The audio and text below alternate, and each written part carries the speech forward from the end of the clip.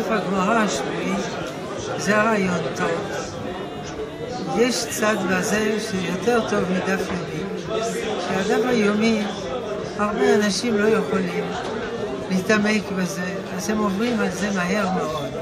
מה שכן, הדף השבועי, אפשר להתעמק, אפשר בלי להילחץ, כל שבוע לגמור דף, ובסוף המסכת לעשות סיום מסכת של כל הלומדים בכל מלוא רוחב הארץ. לא באנו לבטל את הדף היומי, אבל להרבה אנשים זה הרבה יותר טוב.